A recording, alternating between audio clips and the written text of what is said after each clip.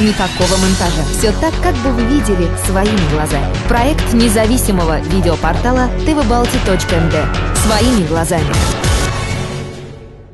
Сотрудники таможенной службы, входящие в состав мобильных бригад, задержали двух молдаван за незаконный оборот товара. По информации таможенной службы, на трассе Чемишли-Кишинев на основании полученной оперативной информации были задержаны два гражданина, в машинах которых был обнаружен товар общей стоимостью около 150 тысяч леев. В ходе обыска транспортных средств было обнаружено большое количество изделий из текстиля и аксессуаров для штор и жалюзи. Документов на партию товара у задержанных не было. Весь товар и машины были задержаны для проведения дальнейшего расследования.